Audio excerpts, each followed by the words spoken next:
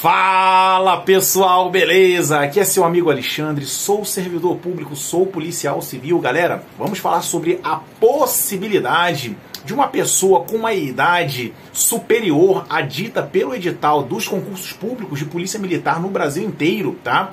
Poder ali fazer a inscrição, as inscrições e quem sabe até ah, fazer o curso de formação e tomar posse com uma idade acima do limite estabelecido pelo edital do concurso. É, devido ali o anúncio né, do concurso público é, de Santa Catarina, da Polícia Militar de Santa Catarina, da Polícia Militar de São Paulo, que vai vir novo concurso com mais de duas mil vagas, é, do concurso público de Pernambuco, do concurso de, aqui do Ceará, né, da Polícia Militar. Quer dizer, vai, devido a essa enxurrada de polícias militares que estão, que estão vindo, surgiu essas perguntas ali na minha caixa do Instagram, perguntando se era possível o cara fazer ali as inscrições, né, tendo uma idade superior a determinado pelo edital. É, a idade das polícias militares, das polícias militares não obedece ali um critério, né? É, cada polícia militar ela coloca a idade que ela bem entender. Por exemplo, Rio de Janeiro é com 35, aqui no Ceará é com 29 anos a 29 dias, né? Não pode ter 30 anos fechados. Lá em, no Rio Grande do Sul é 24 anos, quer dizer, cada estado estabelece ali a idade que ele bem desejar, tá? E muita gente questiona se isso é constitucional, tá? Se isso tem amparo constitucional. Galera, a, o artigo que fala sobre isso é o artigo 7 no inciso 30, lá da Constituição Federal. Como ele fica um pouco ambíguo, o, o, Supremo Tribunal Federal foi lá e pacificou a questão com dois dispositivos, com uma súmula e com um informativo, tá? O que diz a súmula do STF, a súmula 683. O limite de idade para inscrição em concurso público só, só se legitima em face do artigo 7 do inciso 30 da Constituição Federal quando possa ser justificado pela natureza das atribuições do cargo a ser pretendido. A Polícia Militar, por exemplo, ela diz que é uma natureza muito exaustiva, que requer muito rigor físico e por essa razão precisa de pessoas bem jovens para ingressar nas fileiras ali do cargo de soldado, tá? E muitas vezes até no cargo de oficiais, tá? E, e o que acontece hoje todo mundo sabe que as pessoas hoje é, têm uma longevidade é muito grande, né? Um cara de 30, 40 anos, o cara tá na flor da idade, pela, pela, pela, pelos avanços da medicina. Inclusive, vamos voltar nesse tema, porque isso é um dos argumentos que os advogados têm usado para quebrar isso. O outro dispositivo lá do Supremo Tribunal Federal é o informativo 791, que diz o seguinte: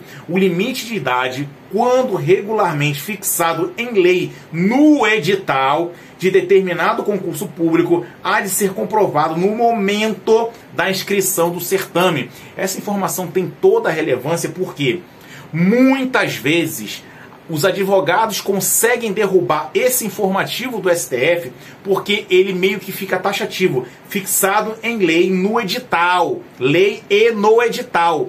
Muitas vezes só está prevista essa questão da, da, da, da lei, da, da, da, da, idade tá, no edital. Aí é que os advogados entram e dizem: não, peraí, ó, o Estatuto da Polícia Militar diz uma, coisa, a Constituição do Estado diz outra, e a Constituição dos Servidores Públicos do Estado diz outra. Então, como há divergência entre leis, entre dispositivos é, legais, os advogados entram com uma liminar e conseguem fazer com que o candidato faça tanto a inscrição como curso de formação e a posteriori ali uma nomeação, tá? Então, o, o, os advogados eles se baseiam muito em cima disso. Outra coisa que os advogados vêm se utilizando é que a reforma da previdência, ela colocou ali que é, era necessário aumentar ali o tempo de contribuição em idade, porque as pessoas vivem mais, hoje a medicina está avançada, então hoje você pode sim tranquilamente trabalhar até os 70 anos de idade sem nenhum problema. E eu vi muitos advogados do Brasil afora fazendo esse tipo de argumento é, no judiciário para entrar com liminar para que o candidato faça a inscrição no concurso. Porque, muito cuidado, você não pode mentir, tá? A a sua idade no momento da inscrição que pode ali é, ocorrer ali em falsidade ideológica, tá? No crime de falsidade ideológica. Então você não pode fazer isso. Você tem que entrar com uma liminar pedindo para fazer as inscrições, tá? E no dia lá e no dia lá do, do é, da prova leve lá a decisão judicial para que você talvez não seja barrado na porta ali do é, da prova, né, do colégio. Então, galera, possível é, tá? Existem também algumas decisões do STJ, tá? Lá para a Polícia Militar do Estado é, do Rio de Janeiro, onde o, o STJ, ele justamente, ele colocou esse ponto. No Rio de Janeiro tinha três dispositivos legais em vigência que dizia da idade do servidor público do Estado, seja ele militar ou civil. Então, a candidata que entrou na justiça, ela ganhou o direito, tá? De, de fazer ali o curso de formação, de entrar na, nas fileiras da Polícia Militar para o cargo de oficial. Por quê? porque existia divergências nas, nas, leis. Tá? Então, não, não tão somente a, os informativos da, do, do STF e a súmula era o suficiente para é, retirar, segregar essa pessoa do concurso. E o STJ deu ganho de causa para essa, essa candidata nas leis, nos dispositivos jurídicos do Rio de Janeiro, dizia hora 31 anos, hora 32, hora 35, hora 30. Então a, a, a candidata em questão ela tinha 35 anos e pôde entrar ali nas fileiras da polícia militar. E houve alguns casos interessantes no estado de Goiás que vem ali dando muito ganho de causa para os candidatos, porque o Goiás hoje passa por esse problema, tá? O Goiás tem muita divergência, tá? E, e o Goiás no último concurso no momento da inscrição não havia qualquer tipo de segregação, algum tipo ali de, de parede que impedisse o candidato de fazer as inscrições. Então, vários candidatos com a, acima de 30 anos de idade foram lá e fizeram as inscrições e, ganhar, e, e, e passaram na prova. Tá? E a negativa é, é, dos, dos é, dos advogados foi justamente essa, que não houve uma barreira, o Estado permitiu que essas pessoas fizessem as inscrições, tá?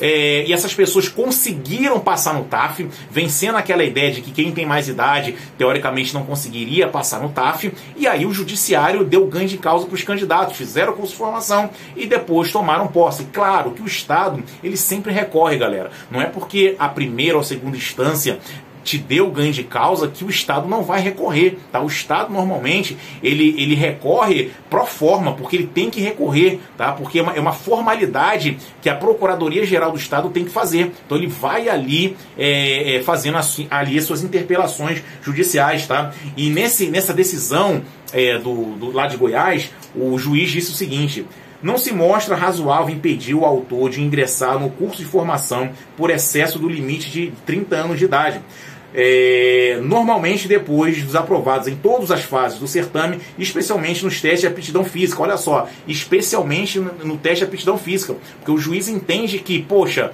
se o teste físico é uma das barreiras tanto alegada assim pelas polícias militares, né, que o cara teria que ter vigor físico e o cara conseguiu passar, por que não ele não pode ali ingressar no curso de formação e ingressar na academia?